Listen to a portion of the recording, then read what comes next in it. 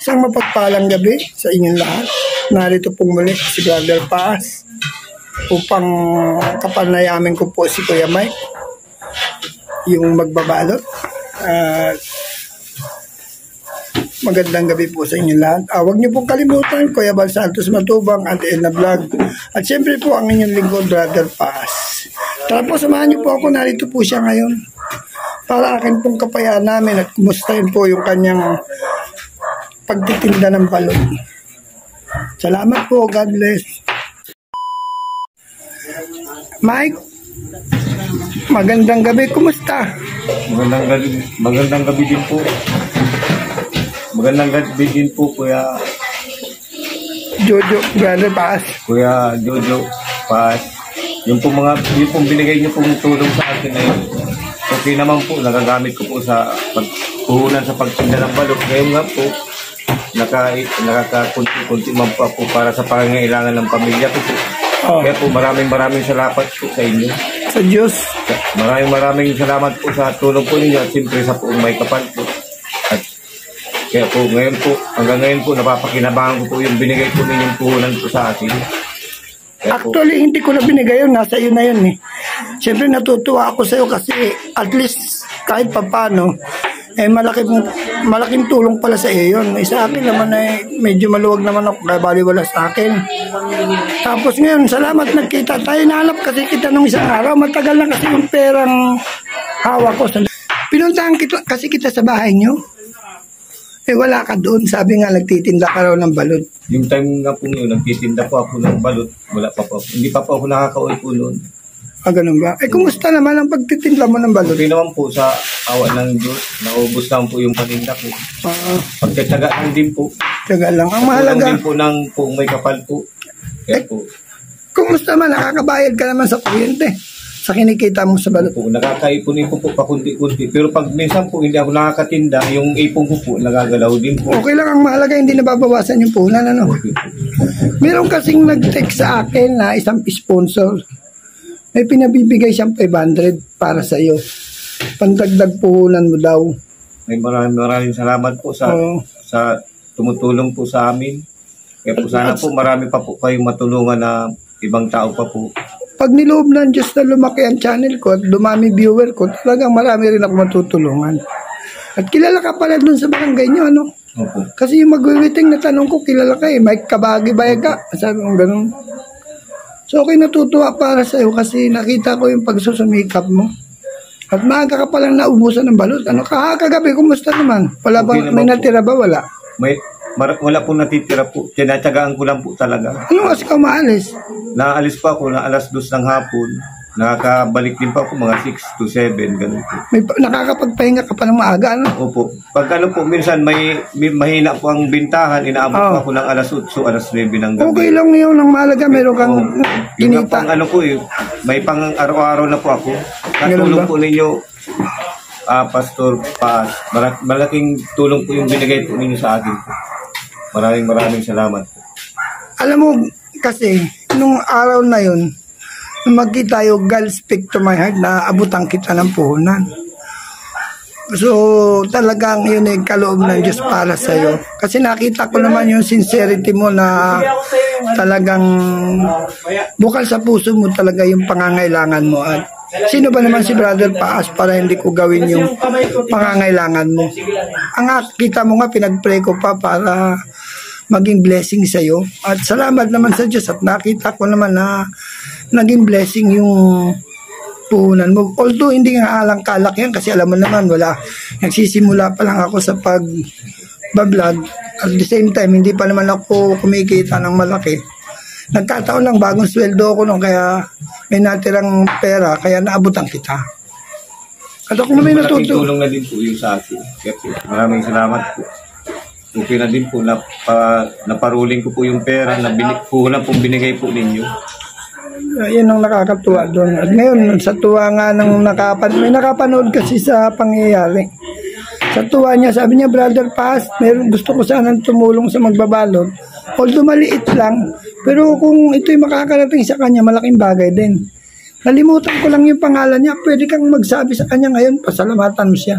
Maraming maraming salamat po sa inyo sa tumulong po sa akin.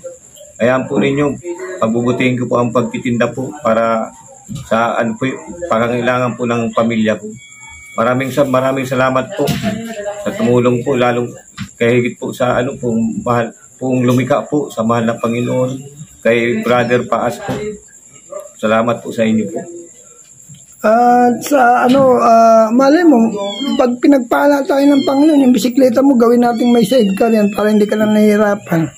Yung nga po talagang ano ko din po ay pangarap ko yung kahit maliit lang pong sidecar po sa kamay payong po kasi pag umuulan po kasi Magkano ba ang payong? ano hindi ko lang po ano yung malaki pong payong hindi ko po manong presyo po ay. Oh. Pag umuulan po kasi hindi ako makatinda, yan pong inaano namin. Hayaan mo, mag-pray ka lang. Ha? Malay mo. po sa kayong maliit lang pong sidecar po talaga. Yun ang talagang gusto ko po. Yun lang, maliit lang pong pangarap ko. O sige, mag- Para pag kasi po pag umuulan po hindi ako makatinda talaga. mag-canvas ka kung magkano. Opo. Para kung sakasakaling pagpalain tayo ng Panginoon. Susunod na lang ako. Kung sakasakaling pagpalain tayo ng Diyos, gasino lang yan, baka wala pang apat na libo siguro yan. Malay mo, just pray Maliit lang lang. po sanang sidecar po para may kabit ko po sa ano po. Try natin, just pray lang. Yun lang po. Saka para magdagdagan ko po yung paninda ko, maano po. Yun lang po talaga. Yun lang po, simple pangarap ko lang po. Kasi para, para kung kahit tumulan po, makakatinda po ako. Makakatinda ko ng paninda ko, balot, pizzaron. Yun lang po talaga. Sana po. Yun lang po ang ano po, matulungan lang po ako mag, magkaroon ng sidecar po yung bike ko. Alam mo, walang imposible sa Diyos kung talaga mananalangin ka ng tao sa puso mo. Ang Diyos naman nagpapala kapag ang tao nakikita niyang karapat dapat pagpalain. Eh nakita ko you are worthy enough naman para pagpalain kasi yung binigay na maliit na puhunan sa iyo, eh, hindi na sayang. At nakakatuwa kasi ikaw, wala ka palang bisyo. Hindi ka pala nagbibisyo. Minsan invite kita sa Sunday. Ha? Doon sa Central Plaza, alam mo yon? Katapat ng Hermosa. Opo. Mag magatin ka ng gawain, ha? This coming Sunday, ha? Hintayin kita ron, ha? Alam mo, Hermosa, Hermosa? Sa, saan po? Sa Yung may... kailera ng Brigada 7. Si, sa ano po, holiday? Holiday. Hindi, sa ano, sa Central Plaza, yung ano, yung Hermosa. Central Plaza, alam mo yung Brigada 7? Brigada City. Kailera nun. Sanapin mo lang doon. Central Plaza po. Oo. Mga alas 10 nandun ako. Ha? Sa linggo po. Sa linggo, ha? Masahan niyo po. Oo, magbihis ka para ano. Atin ka ng gawain. Alas 10 po ng... Ah, Umaga, hanggang alas 12 Hindi lang. pa ako magtitinda po niyan. Oo, kahit sa hapon ka na magtinda, kahit ilaga mo pagdating ng Hindi, hapon. hindi, ma- hindi pa ako natinda tuwing linggo po. Oh, yun. Ay, maganda, the Lord. May pahinga po talaga po. May pahinga. Tama yun. Bigay sa akin ng ano, ng kulang.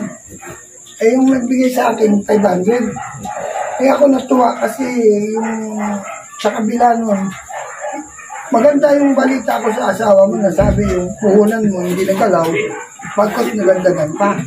So meron akong pera na pagpabigay ng sponsor 500. So dinagdagan ko lang ng 500 para madagdagan naman yung puhunan mo. Salamat. Siguro sa pamamagitan nito, makakabili ka na ng balot at the same time, pwede mo siyang i-rolling sa mga sitsaron kung ano man ang gusto mong puhunan. Ha? Salamat po. At sa coming Sunday, huwag kang makakalimutan. I-invite kitang Salamat po. Salamat po sa tumulong po. Sa tumulong po, salamat po. Maraming maraming salamat po sa inyo kay Brother Paas po. Maraming maraming salamat po. God bless po. Pagpalain po kayo, kayo ng po may kapal po. Maraming maraming salamat po sa inyo.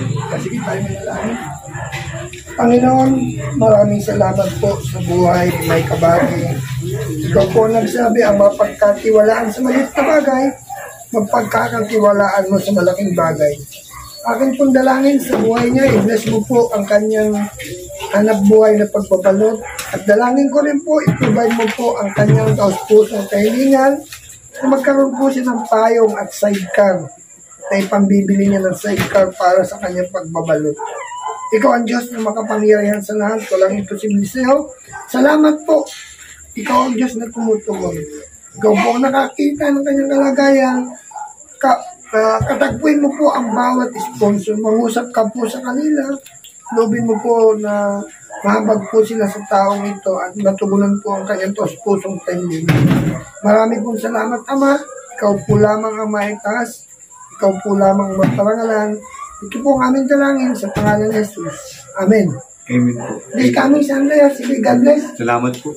Thank you Walang anuman. Merry Christmas po sa inyo. Oh, hayaan mo, pag may dumating na Yun blessing, lang po sana ang ano ko eh. Matagal ko na pong pangarap magkaroon ng sidecar yung bike. Ayan, malay mo, God will make a way. God is the provider. Kapag nakita ng Diyos na maayos yung puso mo, tapat ka sa iyong pang pangarap, sa iyong kahilingan, sino ang Diyos para yan tutugunin yung kahilingan? Tiwala lang tayo sa Diyos wag sa tao. Kasi kung sa akin ka magtitiwala, mabibigo ka, tao ako. Pero pag sa Diyos ka nagtiwala, di ka mabibigo. O sige, God bless. Salamat po.